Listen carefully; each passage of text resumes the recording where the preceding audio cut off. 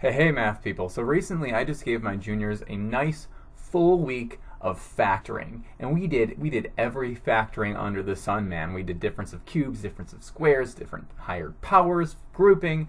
We did it all. And by the end of the week, we had problems that had factoring and factoring and factoring, kind of like a factoring inception kind of mix there, and it just brought it to the next level. And on our last day, a lot of students were uh, they, they kind of stopped factoring within the first like 10 minutes of class or so, presumably because they were having so much fun, they just couldn't contain themselves. One student was crying in the corner, and I know what she was thinking. She was just thinking, I, I just don't want this review to ever end.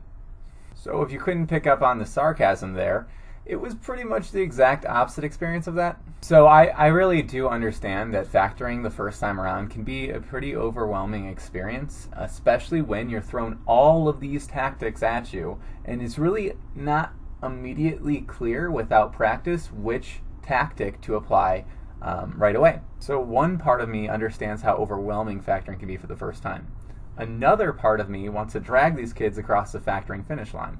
And the third part of me feels nothing because math teachers feel no emotion. Jokes and feelings aside, I was inspired to uh, propose a, a factoring challenge because of all this factoring I've done this week. And this factoring challenge is a doozy. So I figure that I'm putting my students through all this factoring pain. Why don't I go through a little bit myself? So this problem right here is mathematically equivalent to that one friend we all have uh, that is this simple, cute, innocent person on the surface. But once you really get to know them, deep down, they are just this feisty diva. They're the type of people that yell at customer service over the phone, lay on the horn every chance they can on the road, and ultimately just that type of person that you don't want to mess with. Uh, so that person's mathematical representation is right here. Uh, so I do want to factor this out, but let's just take a, a 10 second uh, recap on uh, two factoring methods that we will definitely need to use here. These are the factoring methods we're going to really employ in that expression that we were provided. So difference of two squares and sum and difference of cubes. So very briefly, if we have the difference of two perfect squares, you can write it as such. And here if you had both the sum and difference of two perfect cubes, you can write it as such. It is time. All right, before I get going on this problem, I suggest you pause the video now and attempt factoring this on your own. Uh, three, two, one, my time. So the very first thing I notice is that we have a difference here, and that these two powers are even, aka divisible by 2. I like looking for opportunities to employ difference of two squares, so that's the very first thing I did. The square root of x to the 24th is just taking this 24 dividing it by 2. Uh, and same thing with this y to the 24th, divide that by 2.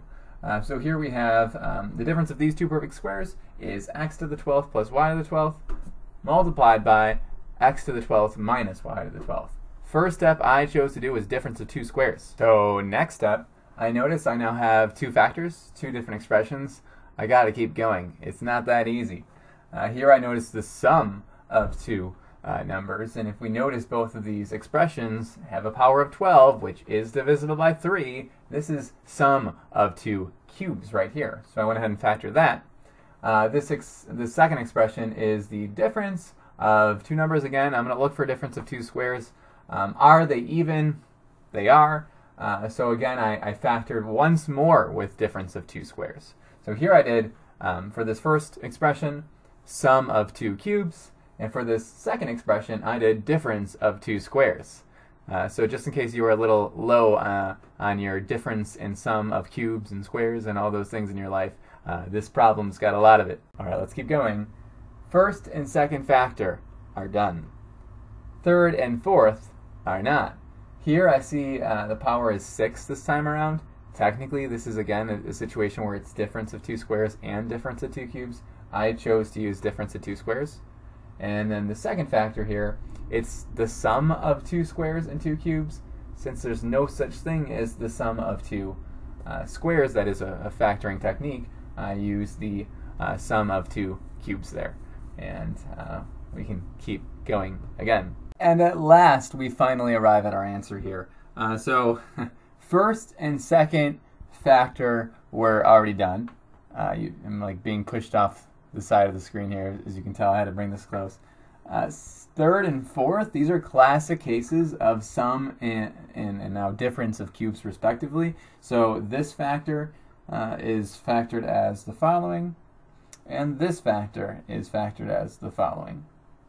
The fifth and sixth factor in this expression were already done. Uh, there's nothing more you can do in either of those, so those just plop down as well, uh, leaving us at a grand total of one, two, three, four, five, six, seven, eight uh, unique factors of um, this initial expression x to the 24th minus y to the 24th.